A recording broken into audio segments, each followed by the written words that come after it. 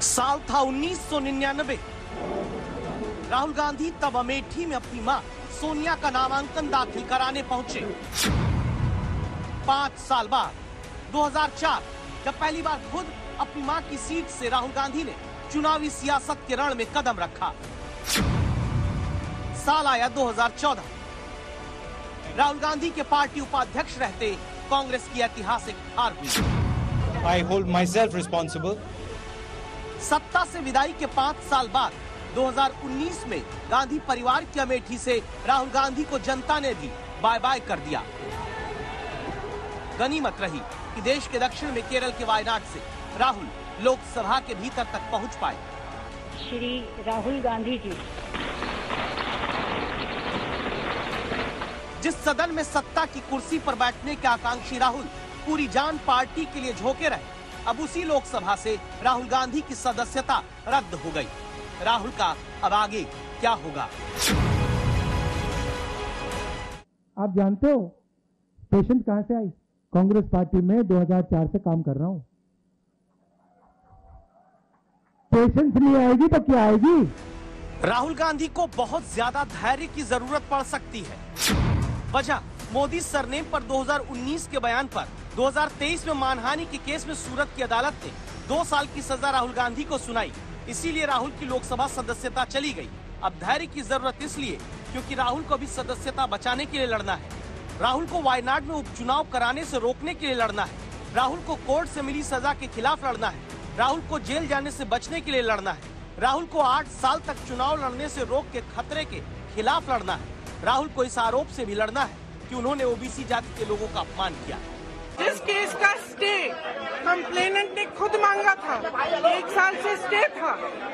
अडानी पे जो भाषण दिया मेरे भाई ने उसके बाद अचानक उस कंप्लेनेंट ने उस केस को ज़िंदा क्यों किया? ये सिर्फ़ ये सरकार अडानी पे जवाब देना नहीं चाहती। डरती है इन सवालों से।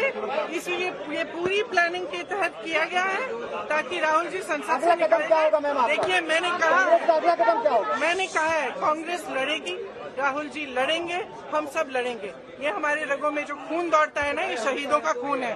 सुन लीजिए जिस खून को आप बार बार परिवारवादी कहते हैं बार बार आप आलोचना करते हैं बार बार आप शब्द इस्तेमाल करते हैं ये खून है इस देश के लिए। ये पीछे हटेगा नहीं। हम डरते नहीं है, हम लड़ते रहेंगे और हम खड़े रहेंगे।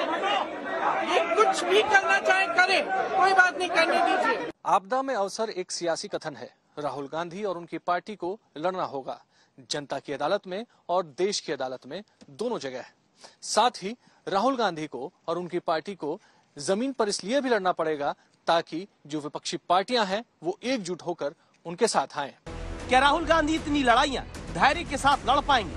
आज तक संवाददाता मौसमी सिंह ये सवाल कांग्रेस अध्यक्ष से पूछती है।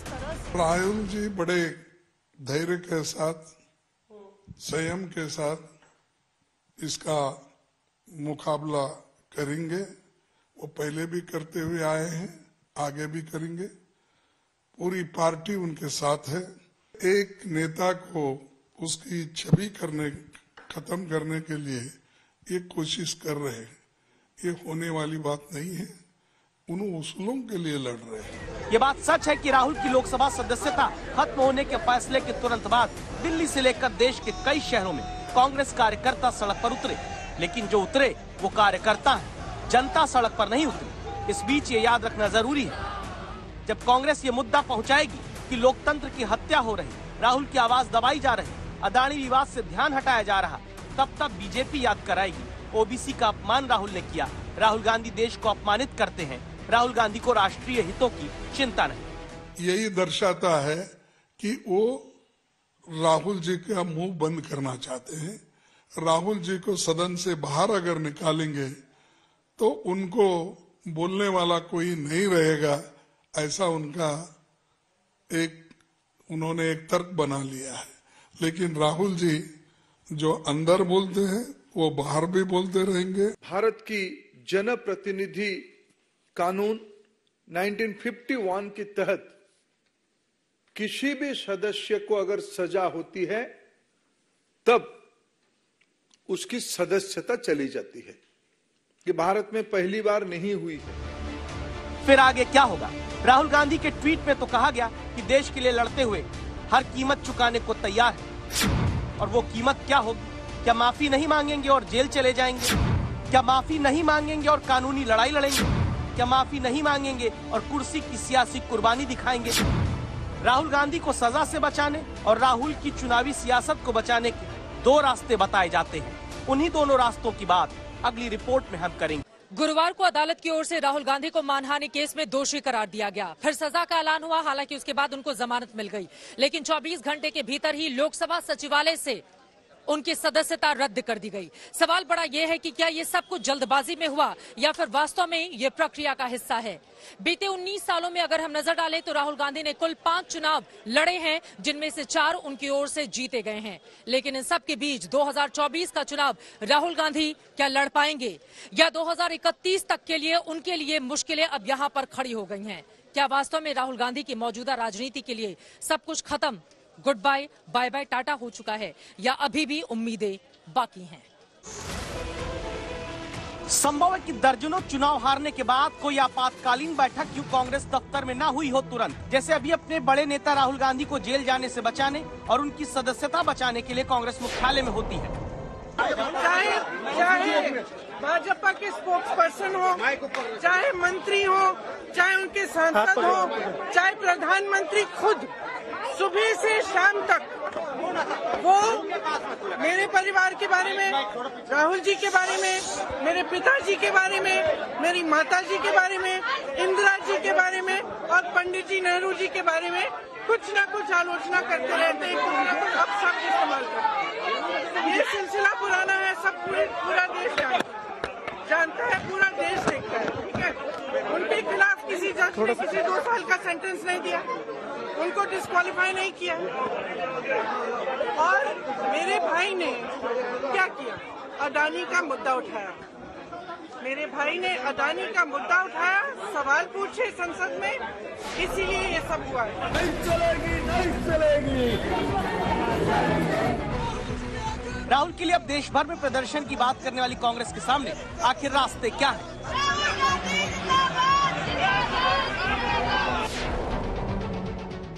सवाल यही है कि राहुल की चुनावी राजनीति बचाने के लिए क्या करना होगा? सबसे पहले सूरत की अदालत से आए दो साल की सजा के फैसले के खिलाफ सेशन कोर्ट में ही अपील करनी होगी। सेशन कोर्ट से स्टे नहीं लगता तो हाई कोर्ट जाना होगा। हाई कोर्ट से राहत नहीं तो सुप्रीम कोर्ट में अपील कर पाएँगे। तब अगला सवाल ये उठता है कि कानूनी प्रक्रिया में तो बहुत समय लगेगा। क्या सीधे सुप्रीम कोर्ट में अपील नहीं हो सकती? तो ये जानकारी सामने आती है कि कांग्रेस सीधे सुप्रीम कोर्ट में भी याचिका दायर कर सकती है। जिसमें वो लोकसभा सचिवालय से राहुल की सदस्यता रद्द करने वाले फैसले के खिलाफ अपील कर सकती है। सवाल नंबर तीन तब यह है कि कई लोग पूछते हैं कि सजा के अगले ही दिन कैसे लोकसभा की सदस्यता राहुल की रद्द कर दी गई। जवाब ये मिला कि सूरत की अदालत ने दो साल की सजा सुनाकर 30 दिन की मियाद देते हुए सजा स्थगित की थी।